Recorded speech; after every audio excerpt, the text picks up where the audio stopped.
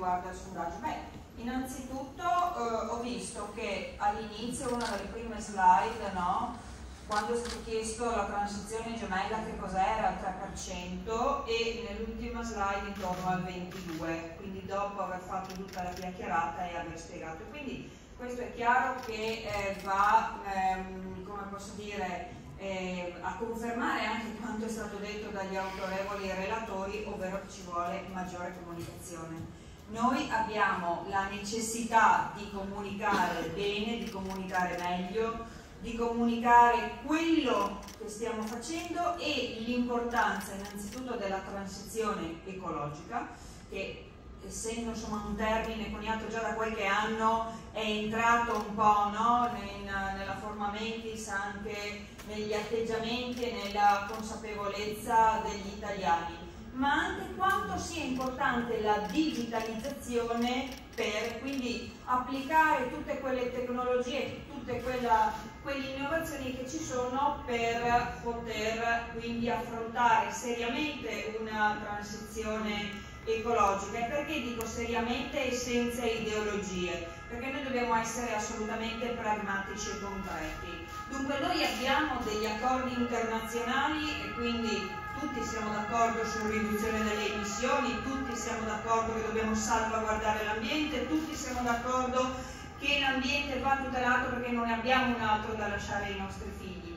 Ma è vero anche che è un momento particolare, noi dobbiamo eh, garantire una transizione giusta, ecco potrebbe essere un hashtag la transizione giusta, perché noi ci troviamo in un momento dove dobbiamo cercare di coprire la parte ambientale, salvaguardando quella che è economica del nostro paese e eh, quindi deve essere anche una transizione che fa capire a tutti la consapevolezza e l'importanza anche di ogni, dire, di ogni gesto quotidiano. Faccio un esempio. Quanti, secondo voi, quando gli italiani si sono resi conto che si poteva utilizzare meno energia nelle case, spegnere un po' più la luce, abbassare di un paio di gradi la temperatura? Quando c'è stato l'aumento delle bollette. Eh. E eh, quando gli italiani hanno scoperto che si poteva evitare di fare centinaia di chilometri per andare a una riunione, a un convegno, a qualcos'altro, quando c'è stato il Covid che ci ha chiuso nelle case e abbiamo dovuto accelerare anche con tutta la parte di digitalizzazione.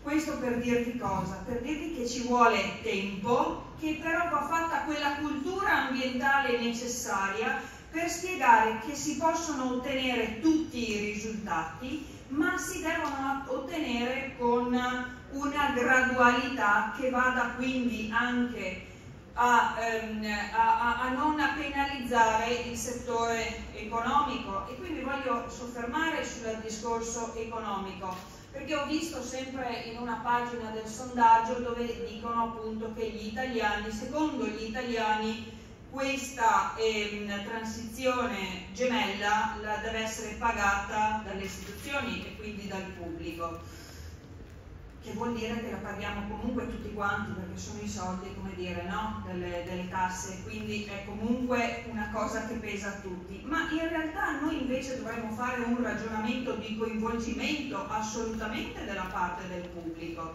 È fondamentale avere questi paternariati pubblico e privato perché noi non possiamo accollarci tutto e quindi è fondamentale un lavoro di squadra come ho sentito anche eh, dalla professoressa Catarci, perché è un lavoro assolutamente di squadra e è un lavoro che va fatto, eh, che va fatto insieme. Ecco, è evidente che noi come governo stiamo già lavorando e mettendo in piedi tantissime misure del PNRR, soprattutto per quanto riguarda la digitalizzazione, penso alle, alle reti, alle smart grid, quindi al loro rafforzamento, penso ai sistemi di monitoraggio ambientale, penso ai sistemi di monitoraggio idrico, soprattutto in campo del, dell'agricoltura, sull'agricoltura di precisione per ottimizzare quello che è lo spreco eh, idrico. E quindi la tecnologia c'è e noi la dobbiamo applicare. Abbiamo il dovere di applicarla proprio per non lasciare indietro nessuno,